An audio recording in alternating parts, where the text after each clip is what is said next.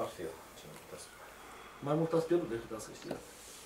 Exact. Ai, uh, bine, știam că o să fie un meci uh, greu, cum am vorbit și înainte de presă conferință, că au fost probleme și niște de lot, dar totuși, uh, acum am vorbit și cu jucătorii în vestiară, uh,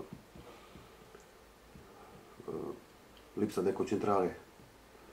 Lipsa de concentrare la unii jucători, dacă extrema dreapta vine 6-7 ore liber la șut și exact am vorbit când am pregătit meciul ce trebuie să face fiecare acolo și după că s-a ieșit uh, rareș și el s-a accentat.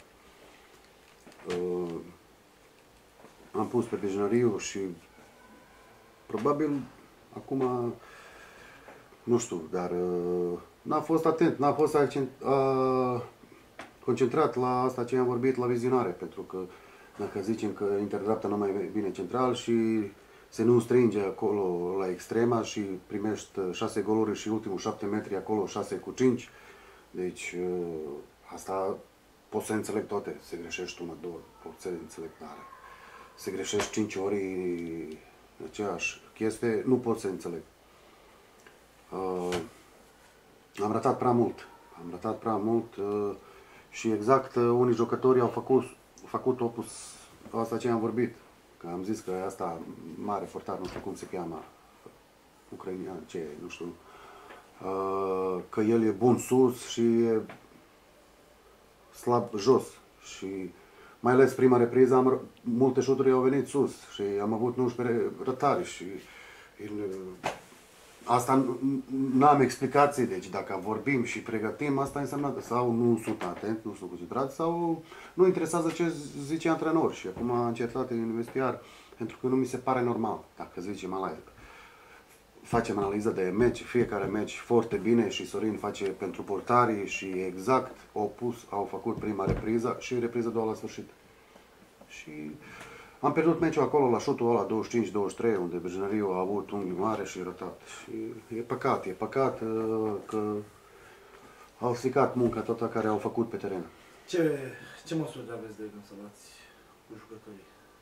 Păi nu avem ce să eu fac acum, pentru că avem încă două meciuri.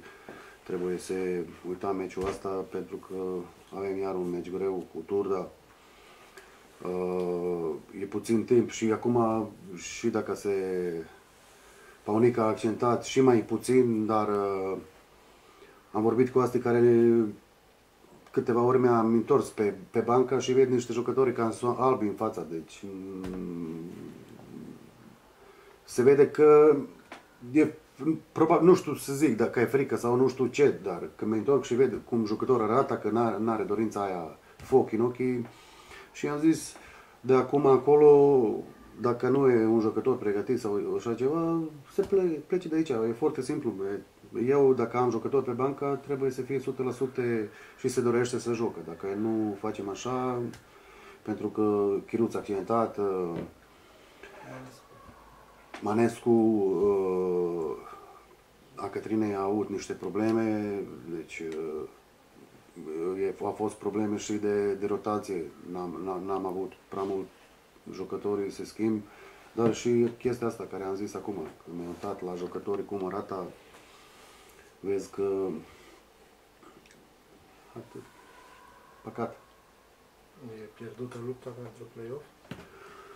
Păi nu e, dar uh, eu și astăzi când am fost cu băieții la masă am zis, deci chiar am fost surprins, pentru că nu mi uitam așa de mult la de clasament, tabelul de clasament și am văzut că locul 4 avea 26 puncte.